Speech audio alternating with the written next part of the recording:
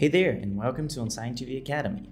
So in the previous video, I showed you how to create this weather application, pretty simple app, right? And well, if you have noticed on the previous video here on the apps tab, we have some applications that have this bar appear saying data feed enabled.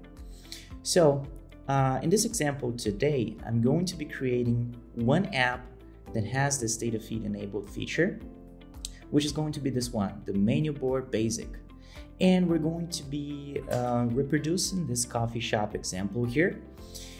Well, uh, every time that you're creating an app that requires a data feed, you have to click on that app, check here on the data feed field, this drop down.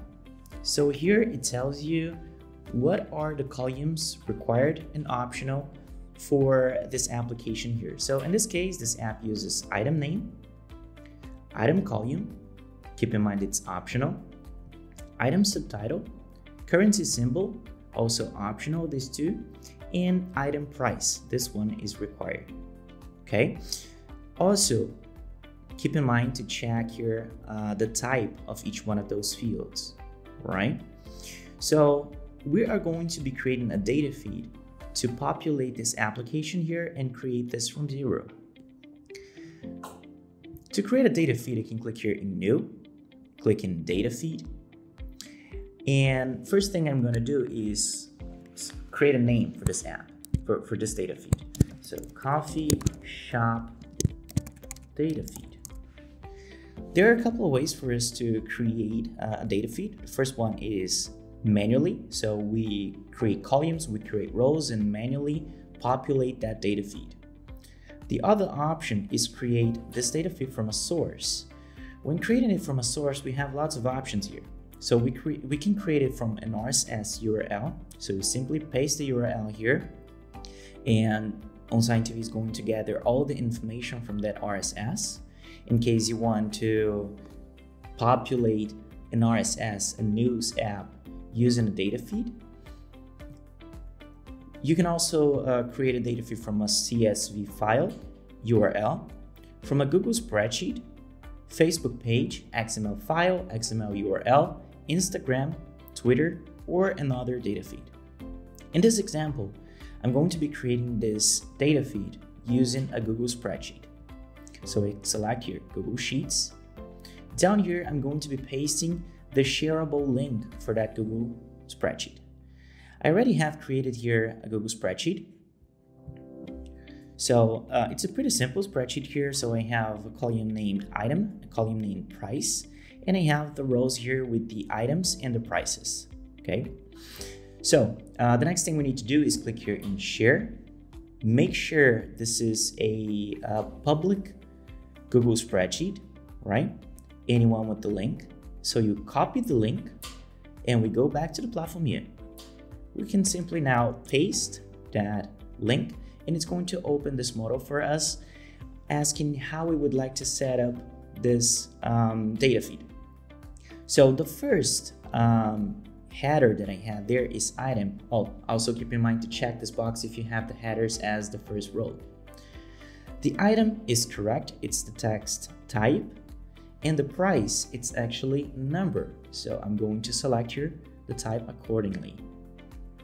Well, we're good. We have six rows imported and we can click here in finish. There are also a couple of boxes here you can mark. So if you want to keep the data feed updated with a Google spreadsheet, it means that every time that someone does some changes on that Google spreadsheet, it changes automatically the data feed you can keep this checked, right? If you don't, you um, need to manually update that data feed no matter what changes have um, happened on that spreadsheet, okay? So I'm going to be creating this this way. So we cannot change the items anymore as this data feed is being updated automatically from that Google spreadsheet. So if I want to change it, I need to go to that data feed and change it from there. Okay, we, we have created already uh, the data feed. There are also some options here for editing the settings of this data feed. So we could be clicking here and unselecting this box so it would not be needed to change the Google spreadsheet in order to change the data feed, you could be doing that manually. And we can also go here and edit some of the columns. So we could be changing the name of the column if we want to, or add a note to whoever is using that data feed. Well, we're good with it. Let's just click here in save. And now our data feed is created right here. So what we need to do now is go to that app again, click here in new, click in app, go to menu boards and tables, click here in menu board basic. Let's create a name for it, menu board coffee shop. Down here, we're going to be selecting the data feed we created, double click, and now it's going to ask you to match the columns of the data feed with the columns of the app, with the actual items that it uses. So item name for the app is going to be the item column for the data feed. We have not added the item, item icon, so well, it's optional, so that's okay. And OnSign TV already recognized that there are no images uh, column in that data feed. Item subtitle is also optional. We're not selecting anything. Currency symbol is also optional. We're not selecting anything. I'm going to show you now how to be adding the currency symbol without selecting a column here. And then we have item price. Pretty simple, huh? We can now click in confirm. After we do that, down here we have the option to add a default currency symbol. So for that, we're going to be adding the dollar sign. We could also be configuring some changes here, just like amount of lines to be displayed per page, show each page for 15 seconds. We could be adding a header logo. We could be changing the title, the footer text, font size, item subtitle font size, text font, item subtitle font, title color, item subtitle color. So we could be pretty much configuring everything about this app okay? If you would like to hide the header, hide a footer, disable animations, or remove decimal point of prices, you could be also doing that. Well, when we're good with this app, we can click in preview and see how it looks like and if it's working fine. So there we go.